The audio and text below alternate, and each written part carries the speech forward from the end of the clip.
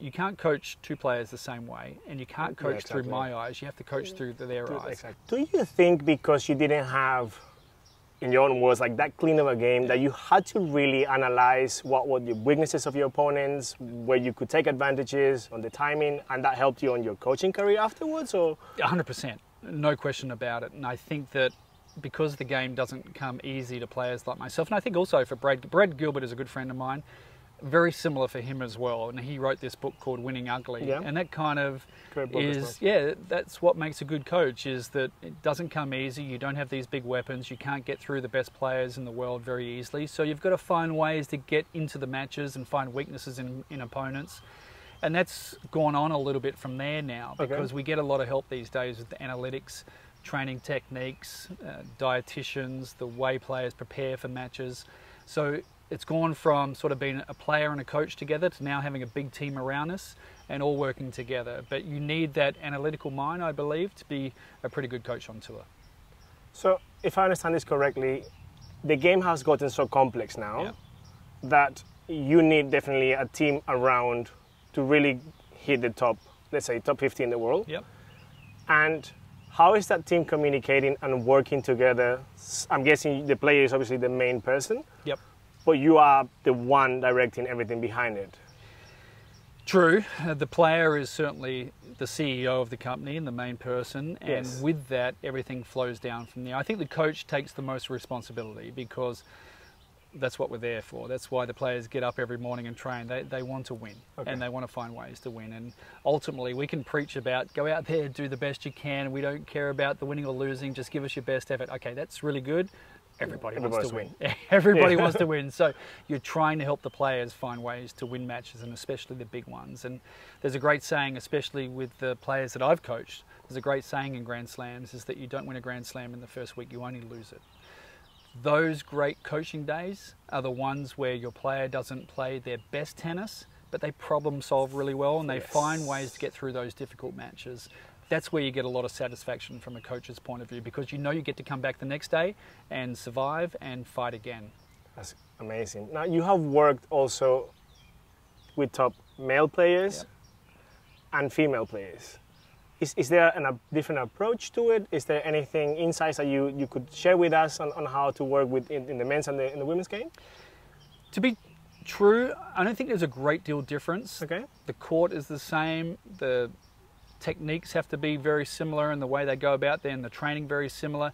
The only thing I would say is a little bit different is the emotional side comes into it a bit more in the WTA than it does in the ATP, and that is simply because mm, unless you're Serena, who's got the greatest serve the women's game has ever seen, Yeah.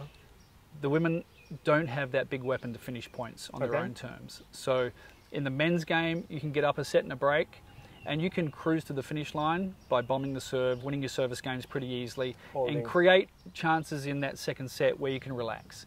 In the women's game, that doesn't happen so easily. So you get to a set and a break up by implementing great strategy, playing correct tennis, once you get that set and a break up, if you change that, if you look to finish points a little bit quicker, if you go for more, if you change anything about the strategy, which is which you can do, Yeah. things can change pretty quickly in a quickly in a WTA match. So I would say that the mental part of the game comes into it a bit more on the WTA side, and that's why I think a lot of the female players are so mentally strong and don't get credit where credit is deserved because Okay. they have to fight and claw their way to the finish line every single match. Where that getting to the finish line comes a bit easier in the men's game.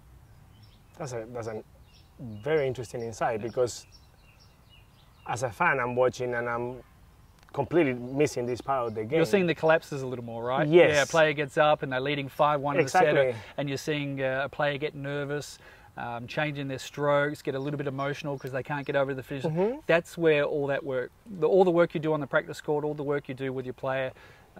24 7, going to dinners, talking about tennis, talking about what you're thinking about.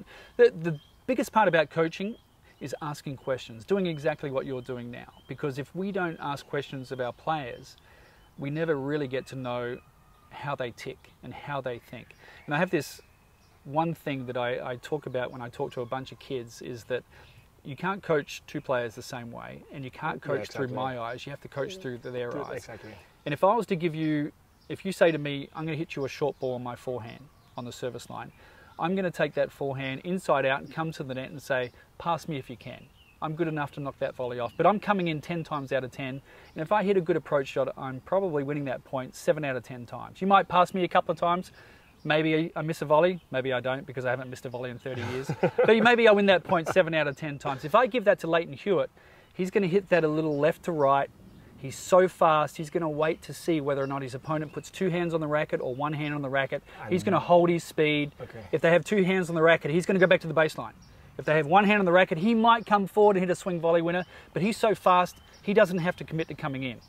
If I give that same shot to Andre, Andre Agassi, he's going to go, "Yeah, I could hit this for a winner, but I'm going to hit this ball over here just so you can run it down. One more time. And then I'm going to hit it over here, and then I'm going to hit it over here, and then I'm going to burn your legs.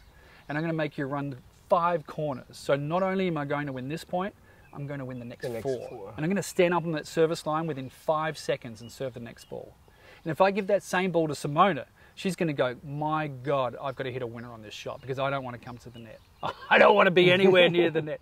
So the one shot in tennis, and you know how complicated tennis is? Absolutely. That's one shot in tennis Exactly. that four players see that one shot completely differently. So unless you ask questions of your player and learn how they think in those big moments, you'll never really coach effectively. Now, well, obviously you have been on the tour for a very long time, and you have won the trust, and you know how it speaks for itself. But still, you have to bring your points across, and these guys are professional players Yeah. who know what they are doing as well. How is that back and forth, that feedback? Is this like I'm telling you what to do? Is it more we discuss about this? How, how is that communication process going? So it's more a conversation, and if I truly believe there's an area of a player's game that I feel like I can improve, Yeah. and I'm struggling to get the message across, you have to be adaptive and you have to find other ways to get that message across. Honestly, most of the time it's through video.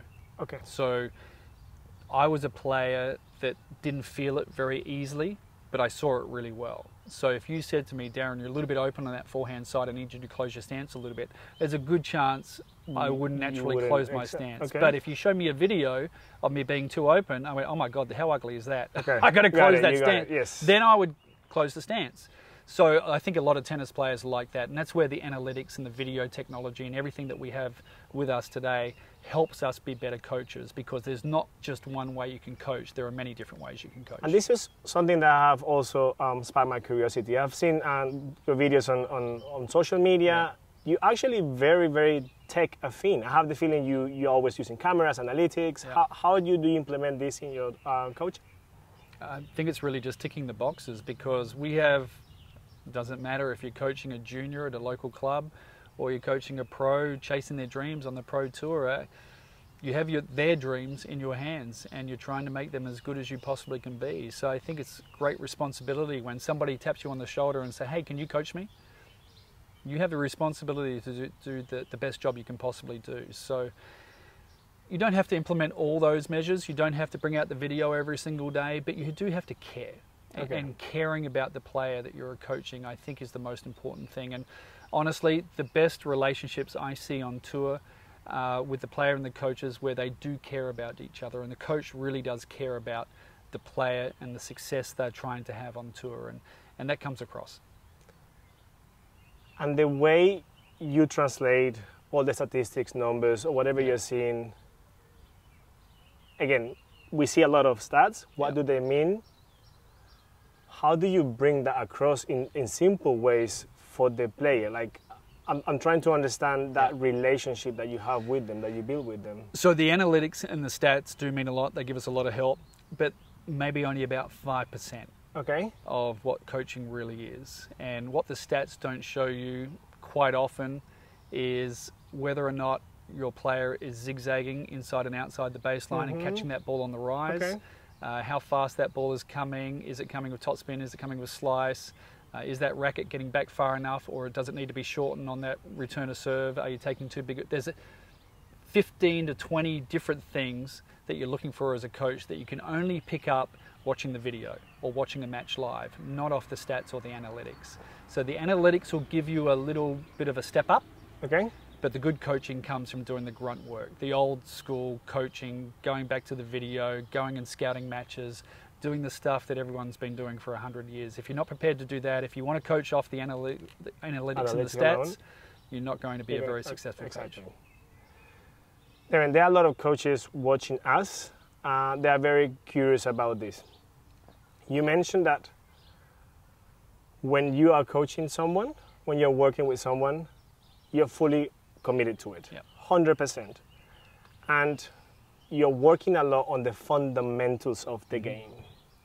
What do you mean by that? The best players or athletes in any sport are brilliant at the basics.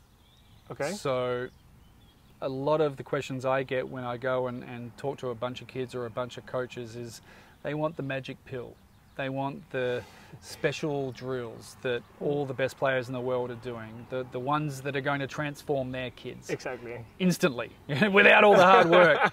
They're not there. You know, there are drills that you can make complicated, and certainly drills that we can do that to, to make it complicated. But all the best players in the world are brilliant at the basics, and they're brilliant at the basics because they spend more time on them than anybody else.